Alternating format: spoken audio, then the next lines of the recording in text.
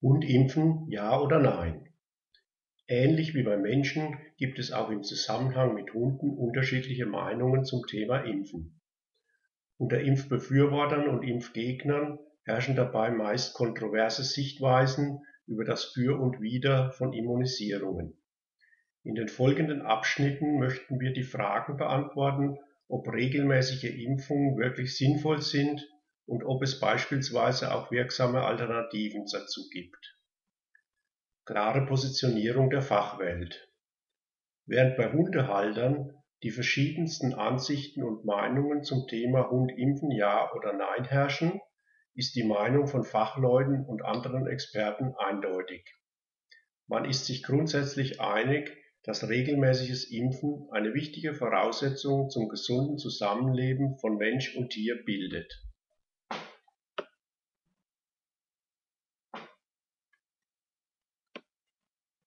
Welche Impfungen sind nach Ansicht von Experten besonders wichtig? Es gibt eine Reihe von Krankheiten, die für Hunde schwerwiegende Folgen haben können. Auch die Übertragung auf den Menschen ist unter Umständen möglich.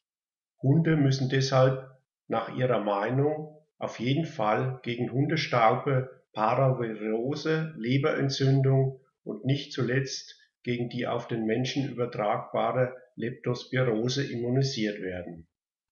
Auch die Impfung gegen Tollwut sollte von verantwortungsbewussten Hundebesitzer eine Selbstverständlichkeit darstellen. An der tödlichen Tollwut können sowohl Mensch als auch Hund erkranken.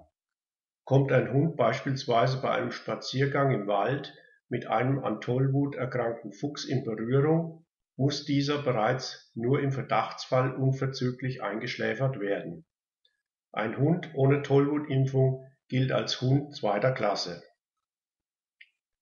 Reicht eine Grundimmunisierung nicht aus, um schwere Erkrankungen vorzubeugen? Von Impfkritikern wird oft angeführt, dass eine Grundimmunisierung in Form einer einmaligen Impfung in der Regel ausreicht. Auffrischungen in bestimmten Intervallen, zum Beispiel jährlich, deshalb gar nicht erst notwendig seien in Fachkreisen ist man sich darüber einig, dass der Grundimmunisierung, die bereits im Welpenalter durchgeführt werden sollte, eine größtmögliche Bedeutung zukommt. Hier wird ein erster Schutz aufgebaut, der je nach Art der Erreger unterschiedlich lange anhält. Eine Impfung gegen Staube oder Paravovirose schützt gewöhnlich bis zu drei Jahre die Impfung gegen Leptospirose erfordert hingegen ein Impfintervall von nur einem Jahr. Es lässt sich deshalb sicher diskutieren, ob ein Hund in jedem Jahr die Kombi-Impfung SHPPI erhalten muss oder nur einzelne sogenannte Core-Komponenten geimpft werden sollten. Ein Tierarzt des Vertrauens kann hier sicherlich genaue Auskunft erteilen und beraten bei der Abwägung der Risiken beistehen.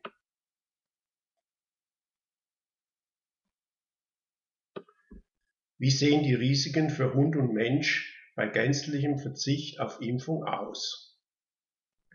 Vom Grundsatz her besteht in Deutschland und weiten Teilen Europas für Hunde eine durchaus realistische Möglichkeit, sich mit den bereits erwähnten schweren Krankheiten Staube, Parvovirose und Leptospirose zu infizieren. Auch Tollwut ist nicht vollständig beseitigt. Hinzu kommt der anhaltende Trend, besonders Hunden aus süd- oder osteuropäischen Ländern ein lebenswertes Zuhause zu bieten. Hier besteht ein großes Risiko, sowohl Tollwut als auch leberentzündungsauslösende Erreger nach Deutschland zu importieren. Die Auslöser der jeweiligen Erkrankung können von anderen Hunden direkt über den Menschen oder auch durch die Umwelt übertragen werden die Krankheitsverläufe sind dramatisch. Unserer Meinung nach ist es unverantwortlich für Mensch und Tier, den Hunden wichtige Impfungen zu verweigern.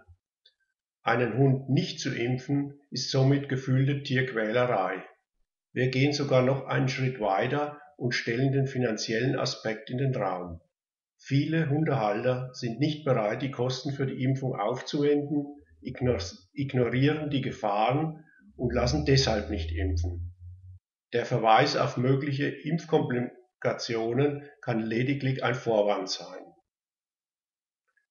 Was sind die tatsächlichen Nachteile einer Impfung? Ausgehend von den Argumenten von Impfgegnern muss ein verantwortungsvoll handelnder Hundebesitzer sich schon fragen, was denn nun eigentlich die Nachteile des Impfens sind.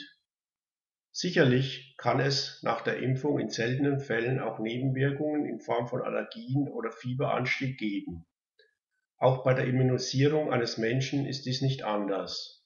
Bei keinem Medikament ist dies gänzlich ausgeschlossen. Auf jeden Fall macht es Sinn, bei jeder Impfung, auch Auffrischung, mit dem Tierarzt ein klärendes Gespräch zu führen, Risikofaktoren anzusprechen und ein individuell auf das jeweilige Tier zugeschnittenes Impfschema zu erstellen